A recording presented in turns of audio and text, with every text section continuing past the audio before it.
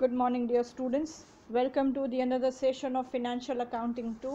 Today we are going to solve example number 6 of our litho Suresh Paresh and Dinesh. So let us first read the question from your litho. Suresh Paresh and Dinesh are partners sharing profit and losses in the ratio 9 is to 7 is to 4. Different ratio છે 9 7 4. On 1 1 2003 they agreed to dissolve the firm and the balance sheet is given. Capital of three partners are given general reserve, creditors, bank overdraft, Paresh's loan, cash, building furniture, stock, debtors, and bills receivables.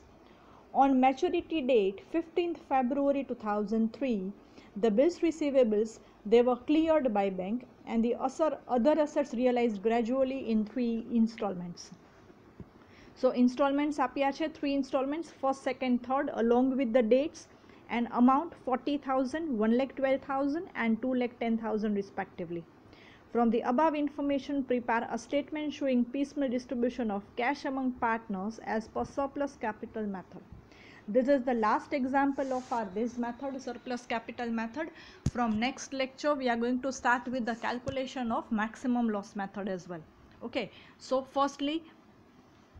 as it is the surplus capital method we need to prepare the statement showing surplus capital that is uh, you can see on the screen uh, following the steps eight step process step number one capital of partners are written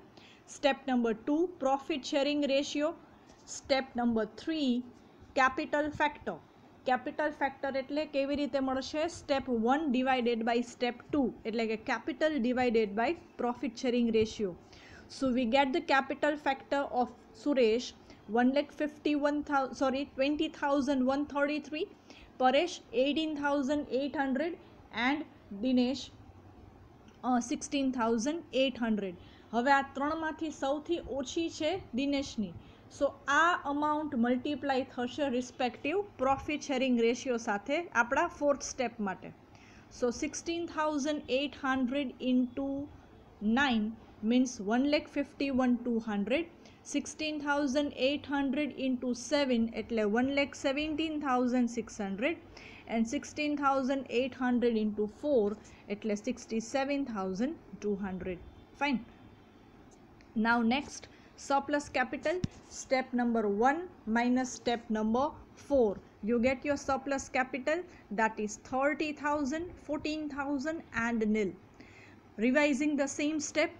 હવે માનો કે આ જ તમારી capital છે તો આને જ પાછું તમારે પ્રોફિટ શેરિંગ રેશિયો સાથે ડિવાઈડ કરો એટલે સેક્સ સેપ મળી જાય તમારું capital factor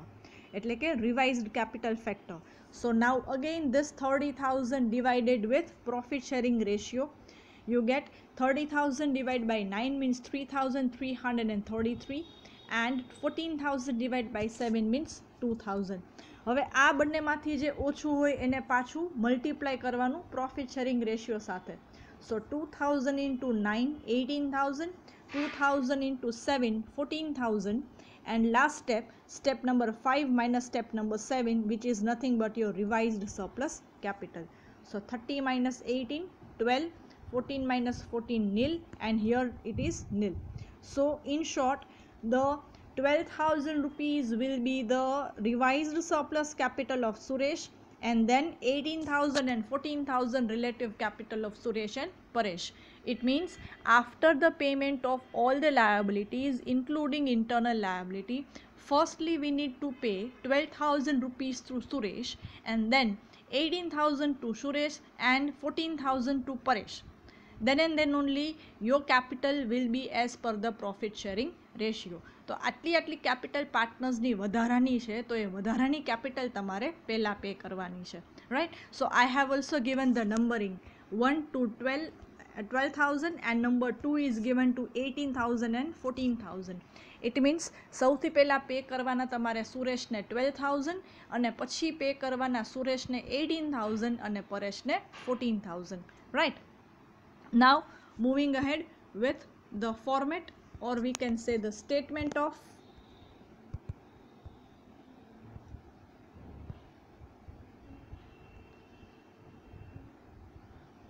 piecemeal distribution C.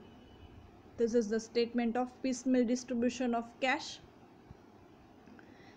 હવે અહીંયા બે લાયબિલિટીઝ છે ક્રેડિટર્સ છે બેંક ઓવરડ્રાફ્ટ છે પરેશિઝ લોન છે અને ત્રણેય પાર્ટનરની capital so here creditors and bills payable sorry creditors and bank overdraft બંને એક્સટર્નલ લાયબિલિટી છે બંનેનું પેમેન્ટ એક સાથે થશે રાઈટ પહેલાં ક્રેડિટર્સ પે થશે અને પછી બિલ બી બેંક ઓવરડ્રાફ્ટ પે થશે એવું નહીં થાય બંનેનું પેમેન્ટ તમારે સાથે કરવું પડશે સો ટોટલ અમાઉન્ટમાં લખેલું છે ક્રેડિટર્સ પછી બેંક ઓવરડ્રાફ્ટ પછી પાર્ટનરની લોન એટલે કે પરેશની લોન અને પછી ત્રણેય પાર્ટનરની capital now danger zone number one check કરવાનું જનરલ રિઝર્વ કે પીએનએલ એકાઉન્ટ કે છે કે નહીં તો અહીંયા આપણી પાસે જનરલ રિઝર્વ છે So general reserve is going to be distributed between the partners as per their profit sharing ratio 974 right so this 64000 is distributed among partners in the ratio 974 so now the capital of the partners will be 2 lakh 10000 1 lakh 54000 and 80000 okay next creditors bank overdraft and peas loan as it is next is cash plus first installment so cash 16000 plus first installment 14000 so total will be 56000 now danger zone number 2 check it out કોઈ reserve create કરવાના છે કે નહીં તો અહીંયા reserve create નહીં થાય કેમ કે બિલ્સ રિસિવેબલમાં ખાલી એવું કીધું છે કે એ ક્લિયર થઈ ગયું છે તમે ડિપોઝિટ કરો છો બેંકમાં કલેક્શન માટે મોકલો છો ડિસ્કાઉન્ટ કરાવો છો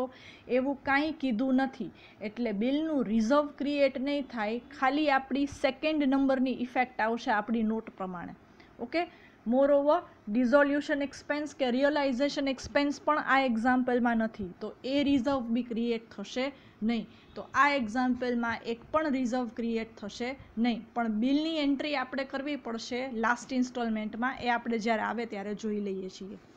so from this fifty six thousand you can pay creditors and your bank overdraft પણ જો ક્રેડિટર્સ અને બેંક ઓવરડ્રાફ્ટની અમાઉન્ટનો ટોટલ છે seventy thousand thirty thousand plus forty thousand right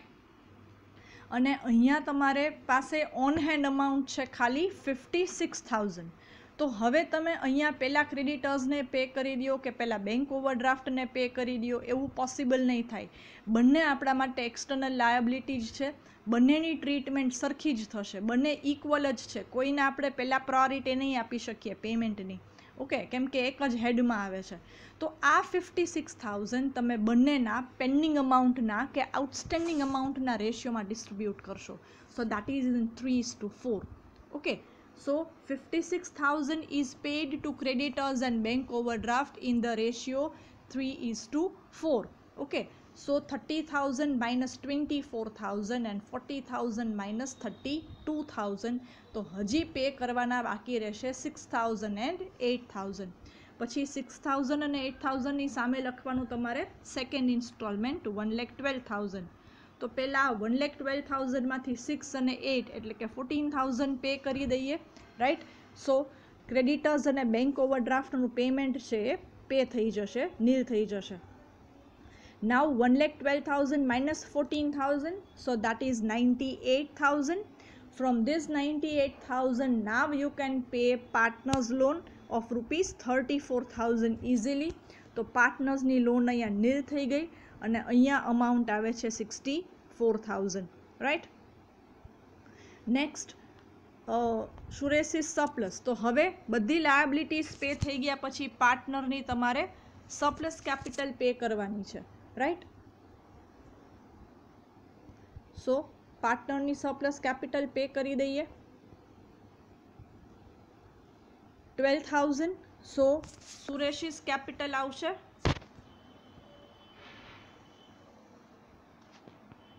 see twelve thousand right પછી સરપ્લસ કેપિટલ પે થઈ ગયા પછી રિલેટિવ કેપિટલ તો બંને પાર્ટનરની રિલેટિવ કેપિટલનો ટોટલ થાય છે thirty 2,000. So from 52,000, 32,000 is deducted as relative capital. So finally now capital of the partners will be 1 lakh 80, 1 lakh 40 and 80,000. તો હવે તમારી જે કેપિટલ છે એ પ્રોફિટ શેરિંગ રેશિયોમાં આવી ગઈ કહેવાય રાઈટ તો અહીંયા સુધીનું આપણું જે કેલ્ક્યુલેશન છે કરેક્ટ છે એવું તમે કહી શકો આફ્ટર ધીસ હવે ટ્વેન્ટી થાઉઝન્ડ જે બચે છે એ પૂરેપૂરા ટ્વેન્ટી થાઉઝન્ડ તમે બધા પાર્ટનર્સ વચ્ચે નાઇન સેવન ફોરમાં ડિસ્ટ્રીબ્યુટ કરો છો ઓકે પછી આવે છે third installment of two lakh ten thousand now at this stage third ઇન્સ્ટોલમેન્ટની ડેટ જોવો અને તમારા બિલ્સ રિસિવેબલ મેચ્યોર થાય છે એની ડેટ જોવો બંને ડેટ સરખી છે એટલે અહીંયા તમારું બિલ્સ રિસિવેબલ છે મેચ્યોર થાય છે એટલે એના જે ટેન થાઉઝન્ડ છે એ તમારે અહીંયા એડ બેક કરી દેવાના પાછા એડ કરી દેવાના આપણી effect number two as per the working note of bills receivables તો તમારી પાસે on hand amount two ten હતી પ્લસ બિલ રિસિવેબલ મેચ્યોર થયા તો એ એડ કર્યા તો હવે ઓન હેન્ડ અમાઉન્ટ છે two lakh twenty thousand so now this two twenty will be distributed to all partners as per their profit sharing ratio so now one seventy one minus ninety nine seventy two one thirty three minus seventy seven fifty six seventy six minus forty four thirty two હવે તમારી પાસે કોઈ installment નથી કે જે તમે પાર્ટનર્સને pay કરી શકો એટલા માટે આ તમારો ફાઇનલ એન્સર છે જેને કહેવાશે capital deficiency right so this is the final answer of your example capital deficiency i am again changing the focus so that uh, full page is visible to you તો તમે video pause કરીને amount લખી લેજો right અને statement બી draw કરી લેજો statement showing piecemeal distribution of cash અને statement of surplus capital બંને હવે આપણે ડિસ્કસ કરીએ છીએ મેક્સિમમ લોસના સ્ટેપ સેકન્ડ મેથડ આજથી સ્ટાર્ટ કરી દઈએ છીએ સ્ટેપ્સ તમને એક્સપ્લેન કરી દઉં છું જેથી કરીને તમે લખી શકો તો નેક્સ્ટ લેક્ચર સુધીમાં જો તમને યાદ રહી જાય એટલે આપણે નેક્સ્ટ લેક્ચરથી મેક્સિમમ લોસ મેથડ સ્ટાર્ટ કરી શકીએ so starting with the method maximum loss method તો સરપ્લસ કેપિટલનું અઝમ્પશન શું હતું તો કે પાર્ટનર્સની કેપિટલ એના પ્રોફિટ શેરિંગ રેશિયો પ્રમાણે હોવી જોઈએ જેટલી કેપિટલ એના રેશિયો કરતાં વધારે છે તો એ વધારાની કેપિટલ તમે પાર્ટનર્સને પહેલાં ચૂકવી દો છો કે જેને આપણે સરપ્લસ કેપિટલ અને રિલેટિવ કેપિટલ કહીએ છીએ હવે આ મેથડની પણ એક ધારણા છે આ મેથડની ધારણા એવી છે આ મેથડ એવા અઝમ્પશન ઉપર બેઝડ છે કે તમારી પાસે જે ઇન્સ્ટોલમેન્ટ મળે છે ને એ છેલ્લો ઇન્સ્ટોલમેન્ટ છે હવે આના પછીથી કાંઈ પણ ઇન્સ્ટોલમેન્ટ કે કાંઈ બી અમાઉન્ટ તમને રિકવર થવાની નથી તો તમારે એવું જ ધારવાનું કે આ જે ઇન્સ્ટોલમેન્ટ મળ્યો છે તમારો લાસ્ટ ઇન્સ્ટોલમેન્ટ છે તો હવે પાર્ટનર્સને કેટલો લોસ થશે એ તમારે અહીંયા ફાઇન્ડ કરવાનું છે એટલા માટે મેથડનું નામ છે maximum loss method so here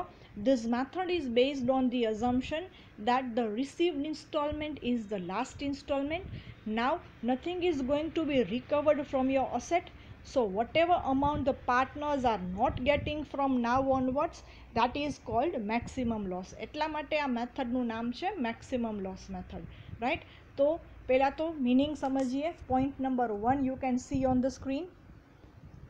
this method is based on assumption that the received installment is the last installment and now nothing more is going to be recovered હવે એના પછી કાંઈ તમને મળશે નહીં second point so here we are going to decide how much amount the partners will not get which is called maximum loss તો અહીંયા આપણે એ જોવાનું છે અહીંયા આપણે એ કેલ્ક્યુલેટ કરવાનું છે કે હવે કેટલી અમાઉન્ટ પાર્ટનર્સને નહીં મળે રાઈટ તો એ આપણો મેક્સિમમ લોસ થશે સરપ્લસ કેપિટલમાં શું કર્યું જેમ જેમ અમાઉન્ટ મળતી ગઈ એમ એમ એનું ડિસ્ટ્રીબ્યુશન કરતા ગયા અને છેલ્લે ખબર પડી કે આટલી અમાઉન્ટ તમને હવે નહીં મળે રાઈટ હવે આમાં થોડું રિવર્સ જવાનું છે so capital minus installment is called your maximum loss last point the final amount of which we will receive after calculation will be the distribution of installment જે છેલ્લે અમાઉન્ટ મળે એ તમારા ઇન્સ્ટોલમેન્ટનું ડિસ્ટ્રીબ્યુશન હશે રાઈટ તો આ તમારી મેથડનું introduction or meaning moving further with the steps બહુ જ ઇઝી સ્ટેપ છે બહુ જ ઓછા સ્ટેપ યાદ રાખવાના છે just because step number one two seven તો તમારા સરપ્લસ કેપિટલ મેથડ જેવા જ છે starting from total amount up to the payment of your internal liability જેમ સરપ્લસ કેપિટલ મેથડમાં કરતા એવી જ રીતે કરવાનું છે એમાં કાંઈ જ ફેર નહીં જનરલ રિઝર્વ પીએનએલ બી ડિસ્ટ્રીબ્યુટ થશે કેશ પ્લસ ફર્સ્ટ ઇન્સ્ટોલમેન્ટમાંથી રિઝર્વ્સ બી ક્રિએટ થશે પછી સિક્યોર્ડ લોન પે થાય પછી એક્સટર્નલ લાયબિલિટીઝ પે થશે પછી ઇન્ટરનલ લાયબિલિટીઝ પે થશે ત્યાં સુધીના સ્ટેપ્સ બધા એઝ ઇટ ઇઝ જેમ સરપ્લસ કેપિટલમાં કરતાં એવી જ રીતે અહીંયા કરવાનું છે પણ સરપ્લસ કેપિટલ મેથડમાં આપણે જે ટેબલ બનાવતા સરપ્લસ કેપિટલનું એ હવે નહીં બને અને હવેનું એના પછીનું જે ડિસ્ટ્રીબ્યુશન છે એ થોડી અલગ રીતે થશે રાઈટ તો એ કેવી રીતે થશે તો કે આ સ્ટેપ્સ ફોલો કરીને બધું પે થઈ જાય પછી જ્યારે ખાલી ત્રણ પાર્ટનર્સની કેપિટલ વધે એ કેપિટલનો તમારે પહેલાં ટોટલ કરવાનો અને પર્ટિક્યુલર્સની કોલમમાં લખવાનું as total capital so have a look at your first step step number one two seven as per the surplus capital method પછીનો સ્ટેપ શું તો કે make the total of capital of partners and write down in the column of particular as total capital પાર્ટનર્સની કેપિટલનો total કરવાનો અને પર્ટિક્યુલરની કોલમમાં એ total લખવાનું અને એને નામ આપવાનું total capital step number next that total capital minus installment equals to maximum loss એક કેપિટલમાંથી હવે ઇન્સ્ટોલમેન્ટની અમાઉન્ટ બાદ કરવાની કે આટલી કેપિટલ આપવાની છે ઇન્સ્ટોલમેન્ટ કેટલો છે તો કે આટલો છે તો હવે જે અમાઉન્ટ મળે એને શું કહેવાશે maximum loss total capital means these much of amount to be paid installment means these much of amount the firm is having and maximum loss means this much of this much of amount now the firm cannot be paid right તો આ તમારી formula થશે total capital minus installment means maximum loss fourth step now distribute this maximum loss among partners as per their profit sharing ratio હવે આ જે maximum loss આવ્યો એ partners વચ્ચે એના પ્રોફિટ શેરિંગ રેશિયોમાં ડિસ્ટ્રીબ્યુટ કરવાનો right next capital of partner minus maximum loss means distribution of installment હવે આ સ્ટેપમાં સ્ટેપ નંબર ફાઇવમાં જો કોઈ નેગેટિવ બેલેન્સ આવે તો એના માટે આ નોટ ફોલો કરવાની છે in if any negative balance of partner will be distributed between remaining partners in their profit sharing ratio એ શું છે આપણે પછી જોઈ લઈએ છીએ તમારે ખાલી આટલું જ યાદ રાખવાનું છે ટોટલ કેપિટલ માઇનસ ઇન્સ્ટોલમેન્ટ એટલે મેક્સિમમ લોસ હવે મેક્સિમમ લોસ પાર્ટનર્સ વચ્ચે ડિસ્ટ્રીબ્યુટ કરવાનો છે પ્રોફિટ શેરિંગ રેશિયોમાં capital minus maximum loss means your distribution of installment again step repeat જ કરવાના છે કેપિટલ માઇનસ ઇન્સ્ટોલમેન્ટ એટલે કે રિમેનિંગ કેપિટલ ઓર લોસ આ બધો જ એક્ઝેક્ટ આઈડિયા ત્યારે જ આવશે જ્યારે આપણે એક્ઝામ્પલ સોલ્વ કરીએ છીએ રાઈટ તો આ ચારે ચાર પેજ તમારે તમારી બુકમાં લખી લેવાના છે you can pause the video at any time and you can write down the same amount from that okay or હું બોલું છું એમાંથી પણ લખી શકો છો so I am just swiping the pages This is the first page of today's session. Stable showing surplus capital.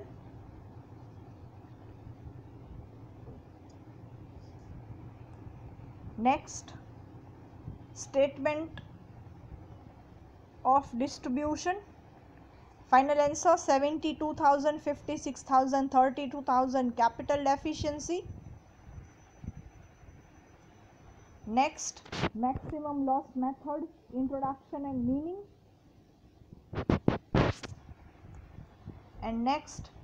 maximum loss method steps